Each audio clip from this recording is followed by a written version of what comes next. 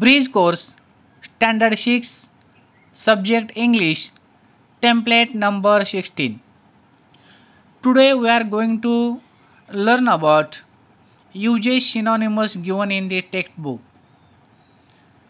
instructions for the teachers drill synonyms with proper pronunciation योग्य पद्धतीने समानार्थी शब्द विद्यार्थ्यांना आपण प्रथमतः वाचून दाखवणार आहोत.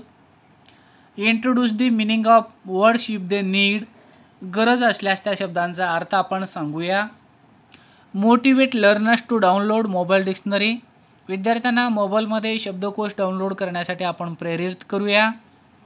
Motivate learners to do the activities on their own विद्यार्थ्यांना स्वतः कृती पूर्ण करण्यास प्रेरित करूया. Instruction for the students read synonyms loudly दिलेले जे समानार्थी शब्द आहे ते मोठ्याने प्रथमतः वाचा. Understand the meaning of words with the help of the mobile dictionary तुम्ही मोबाईलमध्ये डाउनलोड करून घेतलेले जे काय शब्दकोश आहे त्या शब्दकोशांचा वापर करून शब्दकोश वापरून त्या शब्दकोशावरून तुम्हाला जे शब्द कठीण वाटतात त्या कठीण शब्दाचे अर्थ तुम्ही समजून घेणार आहात. Do the activities on your own आणि स्वतःहून दिलेली जी कृती आहे ते पूर्ण करून पूर्ण करून घ्या. Match the pairs of synonyms select the correct pairs of synonyms म्हणजे दिलेले जे शब्द आहे त्या शब्दामधून अचूक असे जे काय समानार्थी शब्दांच्या ज्या जोड्या आहेत त्या जोड्या तुम्ही कलेक्ट करा आणि नोटबुकमध्ये व्यवस्थितपणे अचूकपणे लिहा. चला तर मग आपण प्रत्यक्षात आपण ॲक्टिव्हिटीला सुरुवात करूया. आजची लर्निंग ॲक्टिव्हिटी आहे मॅच दी पेअर्स मग या ठिकाणी ए ब्र ए कॉलममध्ये काही तुम्हाला शब्द दिलेले आहेत आणि बी कॉलममध्ये काही शब्द दिलेले आहेत. ए कॉलममधील शब्दांच्या जे काय जोड्या आहेत त्या बी कॉलममधील शब्दांशी आपण जोडणार आहोत. आणि हे जोडत असताना फॉर एक्झाम्पल या ठिकाणी समजा ओल्ड आहे. ओल्ड म्हणजे खूप जुना. त्या पद्धतीने या बी कॉलममध्ये तर त्याचं अचूक उत्तर असणार आहे ॲनिशियंट म्हणजे प्राचीन खूप जुना. मग या शब्दाचा अर्थ तुम्हाला या ठिकाणी भेटणार आहे. मग अगदी याच पद्धतीने ही जी काय लर्निंग ॲक्टिव्हिटीमधील जी काही ॲक्टिव्हिटी आहे हे खालील पानावर त्याने सॉल्व करून दिलेलं आहे. ते उत्तरासह आपण पाहूया. या ठिकाणी सॉल्व ॲक्टिव्हिटी आहे. Match the pairs of synonyms या ठिकाणी प्रथमतः त्याने त्याने काय केले? ऑलरेडी आपल्याला मॅच करून दिलेले आहेत. एक कॉलममध्ये इथं ओल्ड आहे आणि इकडं ॲनिशंट म्हणजे प्राचीन.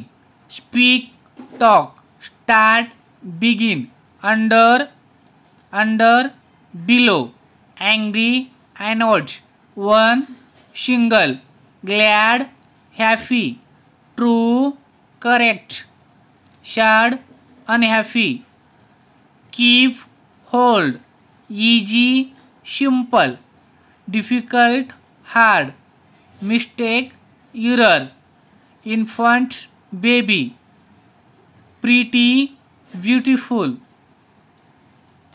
damage hurt near close select choose fast quick या पद्धतीने वर दिलेली जी काय शिनॉनिमसवरची जी ॲक्टिव्हिटी आहे तर ती सॉल्व ॲक्टिव्हिटीमध्ये आपल्याला त्याने सॉल्व करून दिलेलं आहे. आता यानंतर practice ॲक्टिव्हिटीमध्ये fill in the blanks from the given words in to the bracket ब्रॅकेटमध्ये दिलेला जो शब्द आहे तो शब्द वापरून आपल्याला वाक्य आपण पूर्ण करणार आहोत. Radha is dot dot girl आणि ब्रॅकेटमध्ये दिलेलं आहे प्रिटी मग आता आपण वाक्य कसं होईल पाहते वापरून.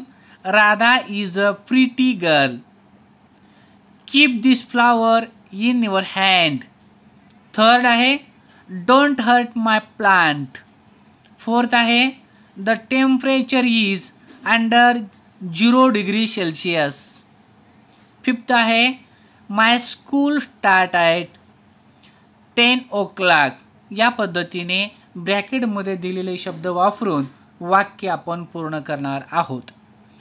आणि यानंतर पहा एक्टेन्शन ॲक्टिव्हिटीमध्ये दिलेलं आहे find synonyms by using any source म्हणजे विविध या ठिकाणी माध्यमांचा वापर करून आपण शिनोनिमस शब्द आपण कलेक्ट करणार आहोत. इंटरनेट असेल डिक्शनरी असेल टेक्स्टबुक असेल विविध जे काय हे रेफरन्स आपल्याला संदर्भ भा माध्यमे वापरून आपल्याला काय करायचं आहे? शिनॉनिमस वर्ड कलेक्ट करायचं आहे. इव्हॅल्युएशनमध्ये काय अपेक्षित आहे बघा? Write synonyms of given words या ठिकाणी इंटरनेट असेल डिक्शनरी असेल टेक्स्टबुक असेल यामधून तुम्ही काय करा? किमान वीस शब्द कलेक्ट करून तर त्याचं अचूक उत्तरे लिहून. आणि आपण जोड्या लावत असताना असं आडवे तिडवे जोड्या न लावता समजा जर करता तुम्ही वरच्या वर दिल्या पद्धतीने समजा या ठिकाणी आता इथं फास्ट आहे. हे फास्टचं अचूक उत्तर आहे किंवा ह्या फास्ट या शब्दाचा समानार्थी शब्द आहे क्विक मग हा फास्टच्या समोर ते क्विक लिहायचं आहे. मग या पद्धतीने किमान वीस शब्द तुम्ही काय करा काळजीपूर्वक लिहा आणि ते ग्रुपवर पाठवून द्या. आणि त्यानंतर आज पहा today I have learn to write some correct synonyms म्हणजे अचूक अशी जी काय समानार्थी शब्दांचा जोड्या लावता येणं गरजेचं आहे. मग आता शिनॉनिमस शब्दांच्या जोड्या लावायचं आहे. व्यवस्थितपणे ते वहीमध्ये लिहून घ्यायचं आहे. त्यानंतर वारंवार ते वाचून कायमस्वरूपी तुम्ही स्मरणात ठेवणार आहात.